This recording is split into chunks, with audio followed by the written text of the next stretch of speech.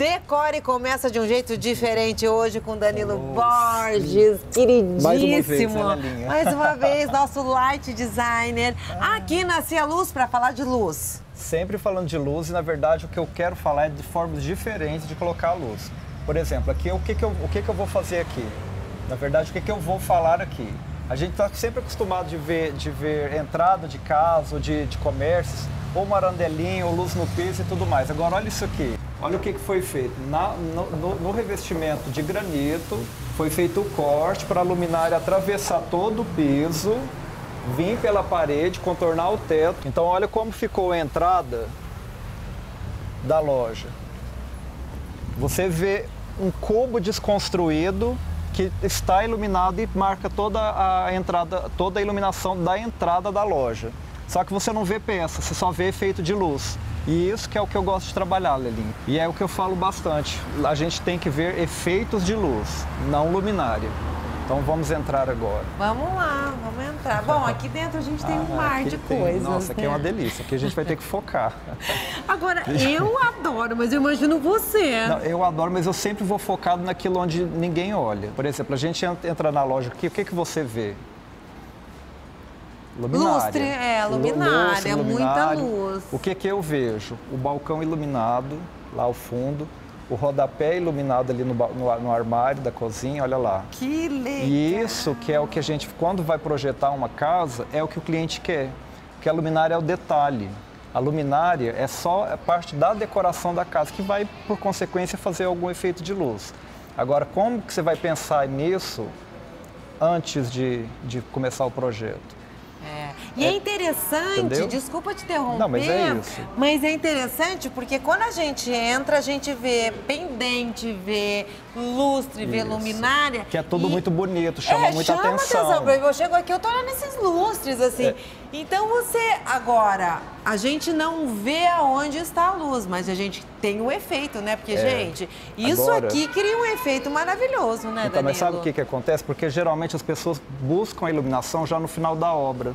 E não é essa a ideia. O que a gente está fazendo lá no nosso outro esqueminha lá. É magia é da, da obra! obra. Vem aí logo mais. No Magia da Obra, o que, que a gente vai fazer? É trabalhar tudo isso aqui antes do projeto, já junto com o projeto de arquitetura. Então, isso é que eu, que eu observo. É como explorar da arquitetura formas de trabalhar a luz. Porque aí a gente está trabalhando luz, não é luminária. Isso aqui, você concorda que isso aqui, o rodapé virou uma grande luminária? Sim. É uma luminária. E, e olha o balcão. Gente, olha esse balcão. O balcão é uma grande luminária. Muitas das vezes você isso... não precisa mais pôr. Então me diz uma coisa, na verdade, esse balcão, por exemplo, ele está iluminado. Ele está iluminado. Ele tem uma luz, ele é um produto qualquer é, que tem é um, uma é um luz. granito, esse aqui é um ônix, que ele é retroiluminado. O que é retroiluminado? Você coloca a luz por trás do objeto onde você quer ver. Por exemplo, o Bar dos Arcos é um bar é, abaixo do no subsolo do Teatro Municipal. É lindo o bar. Qual que é o conceito dele? Todo, todo o balcão é iluminado. Só que lá eles fizeram com vidro e luz por dentro do balcão. Então, lá é um, é um, é um espaço mais instagramável que eu já conheço. Você vai receber a bebida, você coloca o copo com aquelas bebidas todas coloridas e a luz projeta cada efeito. Você está lá, você está você tá com os colegas, seu rosto está todo iluminado. Gente, a luz é, é uma coisa impressionante que ela faz. A né? luz revela, ela esconde, se você tem, ela trabalha de forma diferente, dependendo da posição que você coloca. E é isso que eu gosto entendeu? Trabalhar o projeto de iluminação. Luminária depois a gente vai trabalhar também, mas aí vai entrar no gosto da pessoa. Aí é decorativo. Aí é decorativo. Apesar que essa luz, por exemplo, isso aqui em cima é uma luminária que ilumina também e ela tem uma função diferente do pendente. É, é uma, é uma função diferente. Embora elas acabam no final assumindo quase a mesma ideia, hum. só que isso aqui é luz é, efeito de iluminação. Você não está vendo, a luminária é uma, uma régua, é, é uma, linha. É, é uma, uma linha. linha. Decorativamente, ela não é tão, tão atrativa como um lustre. Né? Ó, essa, aqui, essa aqui já tem um desenho, tem, já tem acabamentos e tudo mais. Então aqui a gente está falando de uma linha reta, que ocupa toda a extensão do ambiente para garantir uma uniformidade de iluminação no espaço, ou seja, na circulação. Já que a gente está aqui na cozinha, eu quero dar outra dica. Aqui é a iluminação do espaço, da circulação. Mas circulação a gente não precisa de luz. Eu estou vendo, estou caminhando, perfeito. Luz da cozinha, vou falar várias, falo isso várias vezes, é aqui, ó.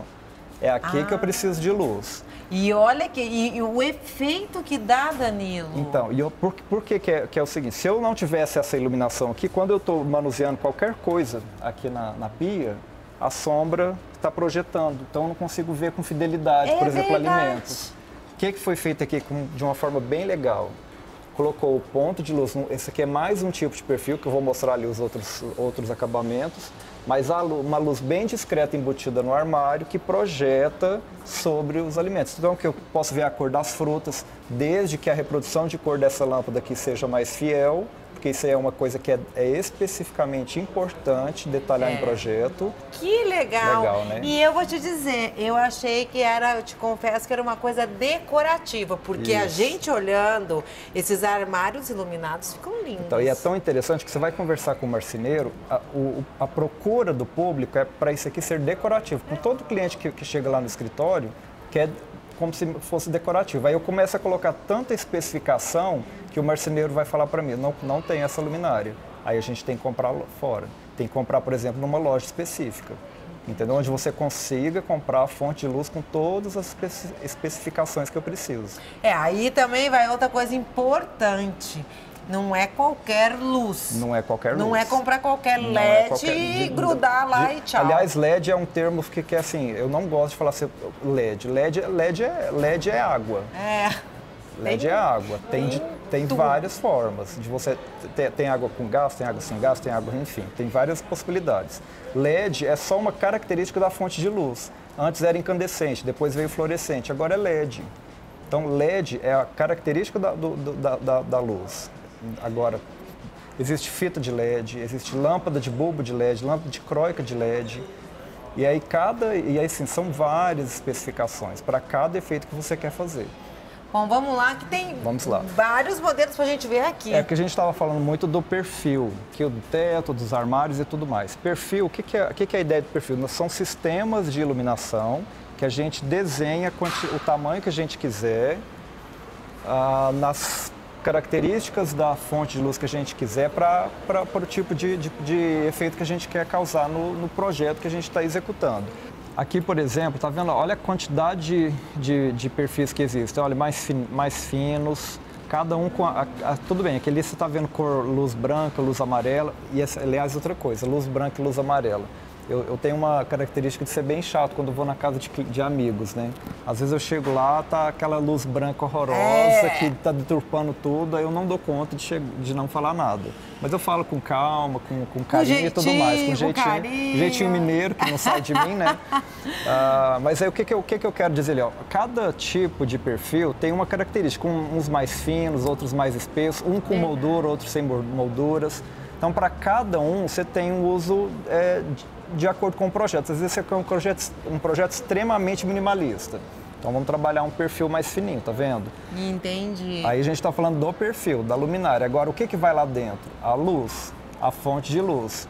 Aí lá tem mais uma, uma quantidade de fita de LED que eu posso colocar lá dentro. Mais potente, menos potente, as branca, clara, branca, amarela, azul, vermelho, enfim. Para cada, cada projeto a gente vai especificar a fonte de luz. Meu Deus, a gente olha e acha que é uma complexo. fita só. É, Agora já estou é. vendo que a coisa é mais complicada é mais do que complicada. Parece. Por isso que é importante contratar um light designer. É, e é mesmo. É, não, não é mas é, assim, é verdade. Assim. O light como, designer, toda a, toda a área Cada um tem que fazer aquilo que sabe. Isso, exato. E faz toda a diferença. Faz, né? faz toda a diferença, porque a gente conhece os, os, os meandros né, de, cada, é. de cada tipo de, de, luz. E a luz faz muita diferença, né, Danilo? Faz. É, sabe, que que eu, sabe qual, qual referência que eu uso? Eu falo muito da luz natural.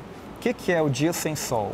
É, é isso o que mesmo. Que é, o que, que é uma noite sem uma lua? É isso mesmo. Então, isso aí não é, são nada, nada mais que fontes naturais de luz. Não é legal? Agora, a fonte natural de luz, ela é única, né? Sim, da forma como ela existe, sim. Mas a gente tem várias outras tecnologias hoje para simular a luz natural, que ah. é o que eu ah. vou te mostrar. E a gente está vendo daqui, vem cá para você ver. Por exemplo, a jabuticabeira, tá? você está vendo uma luz ali em cima. O que, que você Sim. imagina que seja? Ai, que um sei lá, que tem um, uma clarabóia em cima. É, eu estou imaginando. Eu estou olhando aqui, ó.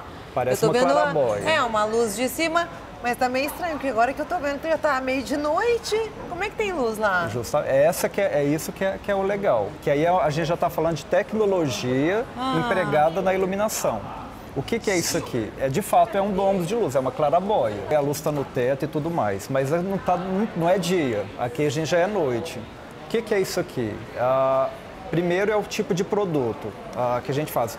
O melhor, antes do produto é o nicho que a gente faz no teto, seja de gesso ou na própria alvenaria, para abrigar a fonte de luz. E o que, que foi? Olha aqui, o que, que foi feito aqui? Aqui a gente esse produto aqui é lona tensionada ou tela tensionada, que é, é uma, é uma tecnologia, vou falar relativamente recente no Brasil. Tem aí seus 20 e poucos anos, que é recente. Só que o que, que acontece? É, a gente faz uma, um teto iluminado como se fosse um forro de gesso e atrás dessa tela a gente coloca a fonte de luz. Então, novamente eu falo, da mesma forma do perfil, nós temos uma infinidade de fontes de luz para colocar lá. E aí você tem que pensar onde você vai colocar essa fonte, porque olha aqui, olha gente, como que está homogêneo a luz. É impressionante. Danilo, eu estou impressionada com isso. Não é legal? É muito natural. E, exato, e essa é a palavra, é muito natural. É óbvio, jamais eu vou falar que a gente está reproduzindo de fato uma luz natural aqui. Mas a simulação traz a sensação, traz o efeito. E, por exemplo, a jabuticabeira aqui, existem fontes de luz para fazer, inclusive, com que a, com que a jabuticabeira floresça. Não, peraí, essa é. luz artificial... Aí eu vou entrar em, é muito, é muito técnico, hein? Essa luz é artificial. existe uma luz artificial Existem, capaz de isso. produzir a luz que a planta precisa? Sim, inclusive tem um evento no Brasil que acontece anualmente, é, é o único congresso de iluminação que tem no país. Aí estava falando na semana passada justamente agora de, dessas fontes de luz que fazem com que a planta atue quando estivesse na natureza. Longe de qualquer criador de fonte de, de, de luz artificial querer é, chegar ao ponto de simular de fato uma luz natural. Só que existem as características da fonte de luz que faz com que atue sobre a planta para que ela haja naturalmente. Né? Aqui, por exemplo, eu não vou ser técnico demais, mas além da, da fonte de luz que foi utilizada, existem alguns recursos ali, da, a gente chama de groove. Existe uma lâmpada no mercado que ela chama groove, é lâmpada groove, que é o que, que é? Ela faz o, ela tem de fato as características da luz que provoca a fotossíntese da lâmpada, da, da, da, da planta. Uh, no entanto, ela tem uma coloração mais rosa. Inclusive está colocado ali, agora não está aceso, mas é um apoio à luz que foi colocado. O que, que é a ideia aqui? Não é reproduzir, vou falar novamente, não é reproduzir de fato a luz natural, mas trazer a simulação. Muitas das vezes a gente vai fazer em, projetos de reforma e quer fazer isso. Você não vai quebrar o teto, criar um teto de vidro para vir luz solar. Custa muito caro isso. Então a gente faz essa simulação justamente para ter essa sensação de jardim interno, mesmo estando à noite. E isso que eu acho legal da iluminação. São vários recursos que a gente utiliza, desde é, luz, no, luz no rodapé, como eu mostrei, luz no balcão e uma luz para criar ou simular um jardim interno mesmo à noite. Olha que legal. Bom, você sabe que conforme a gente foi andando aqui, eu fui vendo, eu acho que a gente está falando de luz, eu estou prestando atenção. Eu fui olhando aqui no seu rosto. De lá para cá, eu não sei se vocês conseguiram notar, mas a luz também vai mudando a gente. Vai mudando. Você vê, a gente está no amarelo, a gente fica é, de uma aqui, cor, ó. você vem pro branco, você vai ficando de outra. E, e perfeito seu comentário. E fazer luz de maquiagem? É Isso a gente ainda vai conversar. E outra luz de provador de, de do é, armário, do closet exato. também. Que a gente fala assim, nossa, mas em casa minha roupa não ficou boa igual ficou na loja. Mas é, eu provei exato. numa loja, ficou diferente. Nossa, quantos casos eu recebo no escritório de, de comerciantes, por exemplo, falam assim, eu estou tendo muito problema em, em, provador. A pessoa vai, compra a roupa e a hora que chega em casa é outra coisa. Ou quando sai à rua, numa luz natural, é outra. Quando vai para um baile, que a luz é completamente diferente, é outra roupa. Então é isso que a gente precisa fazer. Luz de maquiagem, luz de provador são muito específicas. Existem existe muito, é, precisa ter muito conhecimento, é, detalhes que às vezes e a pessoa pensa que é, que é custo, que isso é caro. Não, caro não. É caro é todo o trabalho que tem estudar para saber o que, que, você vai usar. é isso mesmo, é esse querido, é o nosso Light, Light Designer, Danilo Borges. É um prazer. Aí. Nossa, é o prazer é meu. Muito obrigada pela sua presença hoje aqui com a gente Imagina. na Cia Luz. Fica aí nossos Isso. agradecimentos à Cia Luz, que é essa loja fantástica que traz recurso um mundo, recurso para a gente falar de tudo. E fica aí o convite para uma próxima, então, para a gente falar aí dessa luz iluminação, de luz de maquiagem. luz provador. Tenho é certeza é que um tanto de comerciante vai querer. É isso aí. Saber. A gente vai trazer aqui para o nosso decore com o nosso queridíssimo Danilo Borges. Querido, mais uma vez. Imagina, obrigado. Muito obrigada Muito aí pela sua presença. Sempre à disposição. Valeu, querido. e a gente vai ficando por aqui no nosso decore, mas já já a gente volta com mais dicas para você.